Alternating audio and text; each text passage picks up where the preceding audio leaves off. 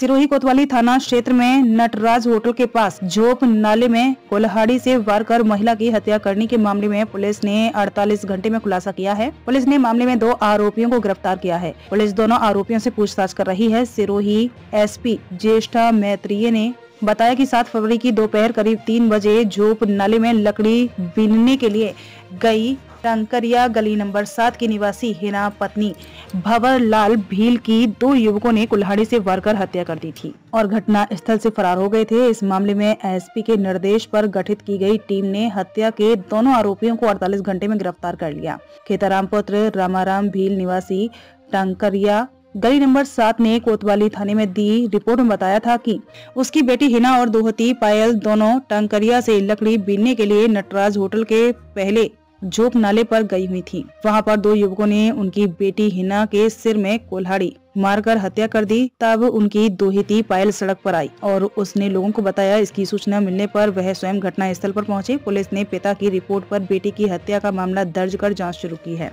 इस मामले में पुलिस ने हत्या के आरोपी दिसावर थाना जूनागढ़ जिला जूनागढ़ गुजरात, हाल खेतला जी मंदिर के पास माली समाज रोड निवासी मेहुल कुमार उम्र इक्कीस वर्ष, पुत्र भीमाराम और उसके साथी सुरेश कुमार उम्र बीस वर्ष, पुत्र करम बागरी को गिरफ़्तार किया गया है। इस मामले में एसपी की ओर से गठित की गई टीम में कोतवाली थाना अधिकारी हंस राम सिरवी हेड कांस्टेबल लखपत सिंह और सचेंद्र रत्नु, कांस्टेबल महावीर सिंह, दिलीप सिंह, कुंभाराम, हरीश कुमार, गणपत लाल, नेपाल सिंह, पृथ्वी सिंह और डीसीआरबी के रमेश कुमार और सोनाराम शामिल रहे। कैमरामैन तनिषा राजपूत के साथ सिरोही जिला मंडल हेड शंकर सिंह, सरकार की रिपोर्ट।